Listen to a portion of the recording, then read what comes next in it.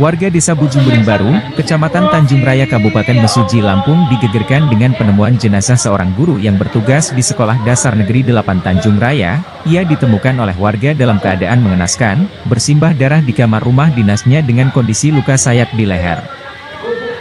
Penemuan sesosok mayat perempuan seorang guru SD Negeri 8 itu pada hari Kamis tanggal 29 Februari 2024 sekira pukul 17 waktu Indonesia Barat, menurut keterangan warga yang tinggal di sekitar lokasi sekolahan. Korban pertama kali ditemukan oleh rekannya bernama Siti yang juga merupakan berprofesi guru di SD Negeri 8 dan tinggal di tempat yang sama.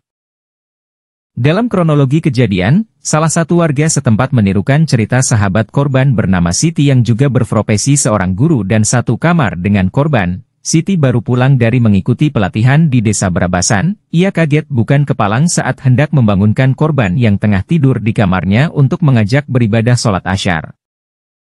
Saya baru pulang dari pelatihan di desa Berabasan, kemudian membangunkan korban untuk mengajak sholat asyar bersama. Saat saya mau membangunkan korban, saya buka pintu kamarnya saya kaget melihat sudah banyak darah berceceran dan korban sudah tergeletak dengan luka tersayat di leher, kata warga menirukan keterangan Siti yang masih terlihat syok atas kejadian itu. Warga yang menceritakan kronologi kejadian itu meminta untuk tidak menyebutkan nama dan rekaman suaranya, bahwa sebelum ditemukan meninggal, korban masih beraktivitas seperti biasanya, mengajar dan bercengkrama dengan rekan sesama guru di SD tersebut. Korban belakangan ini diketahui bernama Rosi Aprilia, ia tinggal di perumahan dinas SD Negeri 8 Desa Bujumburing Baru, dengan lokasi persis berada di belakang lokasi sekolahan tersebut. Sementara Ansori yang merupakan paman korban ditemui wartawan di lokasi menuturkan, korban memang sejak gadis sudah mengajar. Namun sebelumnya korban mengajar di SD Muara Tenang sejak tahun 2017, Kemudian di tahun 2019 korban pindah tugas ke SD Negeri 8 Tanjung Raya.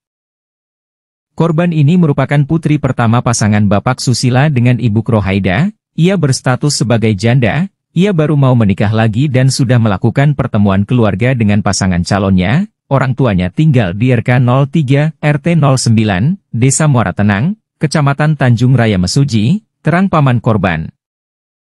Terpisah, Kapolres Mesuji AKBP Ade Hermanto membenarkan adanya penemuan jenazah seorang guru di kamar rumah dinasnya. Saat ini, kami Polres Mesuji masih melaksanakan olah TKP dan penyelidikan, kata Kapolres singkat. Dari Mesuji, tim Bintang TV, Devli menginformasikan.